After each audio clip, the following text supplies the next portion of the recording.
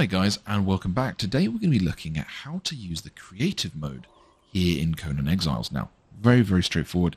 Clicking escape to toggle creative mode. You can see it here. All you need to do is click on this to enter creative mode.